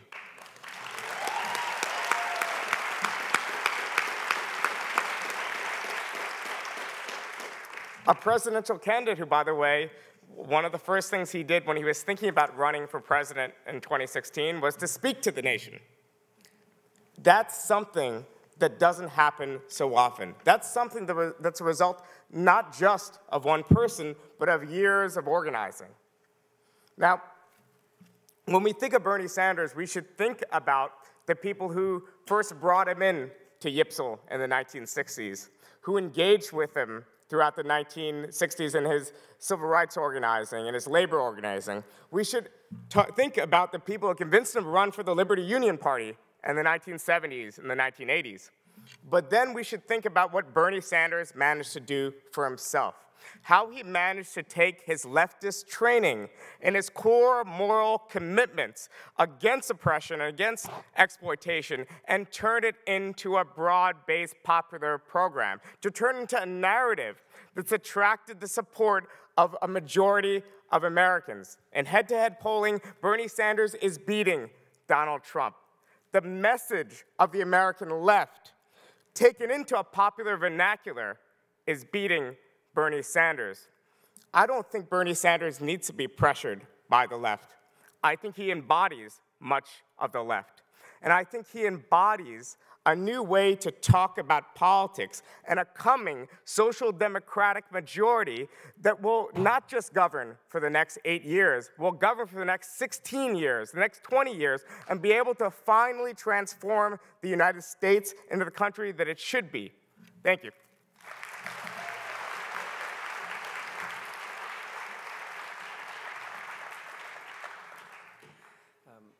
It really has been a, an honor to do this, and I really appreciate all the questions and all the pushing. I think we're doing what we set out to, of like highlighting the arguments for each candidate, but building something stronger uh, and longer. I'm gonna let Maurice give our broader close, um, but I wanna conclude by talking a minute about why I do think supporting Elizabeth Warren is a feminist thing to do.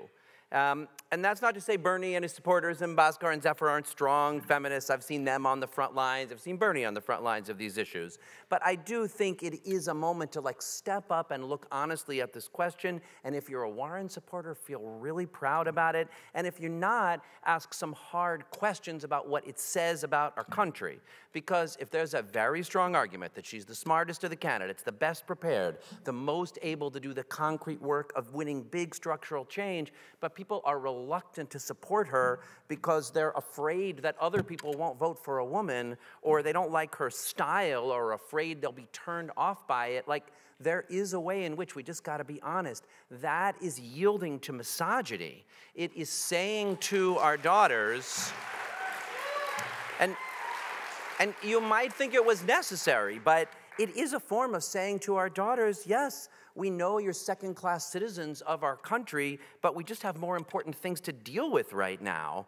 Um, and we at least have to grapple with the price of saying that. Now, look, electing Elizabeth Warren President of the United States will not eliminate structural sexism any more than electing Barack Obama eliminated racism. But representation matters. And after having 45 men as president, including some real pieces of work, um, electing Elizabeth Warren as the first woman president would be one way of communicating to our daughters that we actually really think that women are fully equal human beings. Um, and there would be something really powerful to it. And I would urge you to read the piece in this morning's Nation by Susanna Danuta Walter on the connections between Warren's feminism and her intersectionality, the way that the race and class dimensions of the repeal of Roe, that she sees that and talks about it and lifts it up, the ways that the stories she's told about Phillis Wheatley and the washerwomen and shirtwaist workers and the uprising of the 20,000 are critical lessons for the country at this moment in time.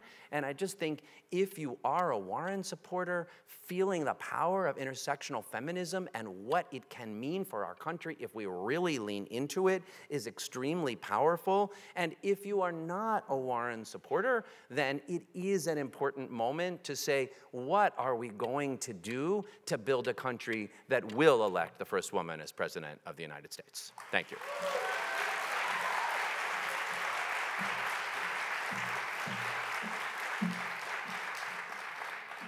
Thank you all. Thank you all for being here. Thank you for a, a great discussion. Um, I support Bernie Sanders because he is the most strong pro worker candidate. He has been pro worker all his life. And as President Sanders, he is going to lift up the voices of workers, and we are going to have a new moment for unionization in this country. I support Bernie Sanders because he is an unapologetic advocate for the Green New Deal, for the good union jobs that means, and is honest about the crisis of the environmental threat.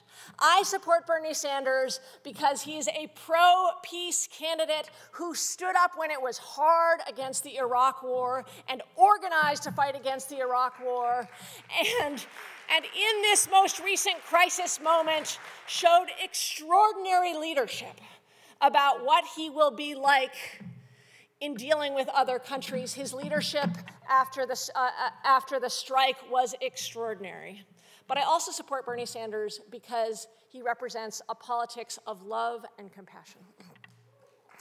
And I had a good friend who, a friend that I knew through sports, who um, uh, found out, learned, got a phone call that his daughter was being um, sexually abused. And he wanted to uh, go kill the person who did it. He wanted to go beat him up, or the person who he thought did it. And I and my friends were with him that weekend, and we did not know what to do. We were looking online, like, what are the sources? Because he clearly, this was the wrong thing to do. He's an Iraq War vet. Uh, he himself had a really rough childhood. I was like calling random hotlines, but somebody showed up for him somebody that he knew, a Vietnam War vet, through group counseling at the VA, and took him to his house and talked to him about why he needed to not do that, why he needed to be there for his daughter. And I mention that because that is a story about the VA, and there is no stronger supporter of veterans than Bernie Sanders, and that is why he has so much support among veterans. I also tell you as a story for why we need universal health care and why mental care is health care. If he did not have access through to that group counseling service through the VA, who would he have turned to? But finally, I tell you that as a Bernie Sanders story because it is a story about fighting for somebody who comes from a different background and a different time and taking care of each other. And I want to live in a country where we take care of people who are at different ages, come from different backgrounds, where we fight for people that we don't know.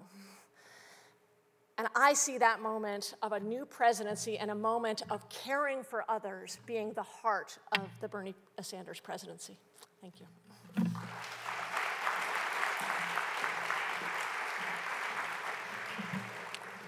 Okay, well, you, you oh, no. I'm just, I'm just champing at the bit here.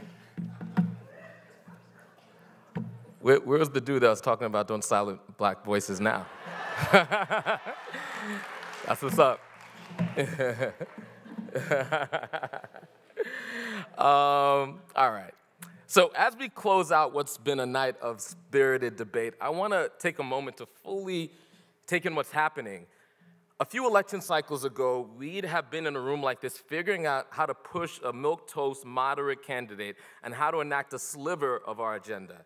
In the last four years, we've moved the Overton window in significant ways, with even moderate candidates on board with proposals like a $15 minimum wage. But get this today, we have two progressive candidates that are responsive to the needs of the movement we've built and are putting working families, immigrants, people of color, and other marginalized people at the heart of their policy. And according to the latest CBS poll, they're the two most popular candidates in the field today. The Working Families Party was proud to endorse Elizabeth Warren for president and is proud to throw down and help her get elected. If I can say one more great thing about her, it's that she knows how to navigate when the waters get choppy. She built the CFPB when all the forces of Wall Street were arrayed against her. She defeated a popular incumbent to win her Senate seat. She even got a bill on hearing aids through Republican Senate past Donald Trump. Senator Warren knows how to push and pull the levers of power on the inside and has proven on many occasions to be responsive and accountable to the people impacted on the outside.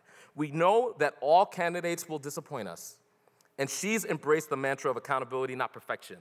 But what we're fighting for is so much bigger than Elizabeth Warren or Bernie Sanders or this election. The Working Families Party wants to build durable progressive power for the long haul.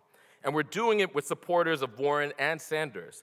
We're fighting alongside Alicia Garza and Black Futures Lab, which recently came out uh, to support Elizabeth Warren, and Ana Maria Archila and the Center for Popular Democracy, which came out to support Bernie Sanders. We're all comrades working to build a multiracial, multi generational movement of progressives, delivering on a progressive agenda. Medicaid, Medicare for all, a Green New Deal, a $15 minimum wage, universal child care, debt free college, halting deportations and abolishing ICE, and putting power back in the hands of the people not only means putting a progressive in the White House, it also means progressive majorities in the House and Senate to get legislation on the president's desk, putting progressive majorities in our state houses, and putting progressives on county commissions, boards, and district attorney seats all across the country. And it means holding those elected champions accountable when they get there. No matter what happens, I hope we all remember that we are on the same team, working towards the same goals, and being able to come together to discuss two progressive options is a sign we've come a long way together. Thank you.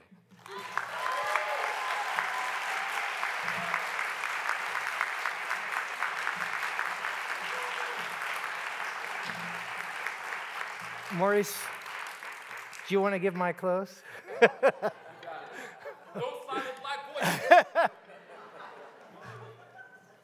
so, uh, you've already heard half of what I have to say. I'm not going to say it again, except to say, weren't these panelists fantastic?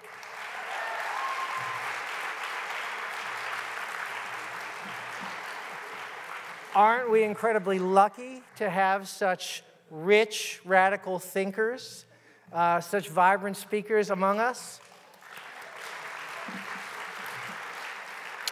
Okay, so uh, yeah, you've heard what I have to say. I think uh, it's time to it's time to vote your hopes, not your fears, whatever those hopes are.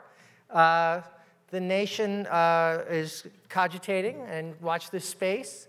I'm going to close with two commercials. Uh, one, because I began with a commercial for Jacobin. So I'm going to end with a commercial for the WFP. I love the WFP. I always have, always will. Uh, if you don't know their work, you should. If you don't support them, please do. Uh, they are a hugely important part of political life in New York City, and this would be a much poorer city and state without the work they do. So uh, that's, my, that's my first commercial. Uh, and my second commercial, uh, this is, uh, you know, is uh, for The Nation magazine. Uh, you know, I uh, really can't think of anybody else who could have put a night like this together. Uh, thank you, Peter Rothberg, for all the work you did in, in helping us, and everybody else who worked on this at the New School. Uh, but what I think is that you know the nation has a unique place as a place that's always open to radical thought, but that really is also always interested in making those connections that Bhaskar spoke about uh, between radical thought and between uh, liberal movements. Uh, so, you know, uh, if, if you think that's important, please read us online, www.thenation.com, uh, subscribe, and support us. And thank you all very much for turning out this evening.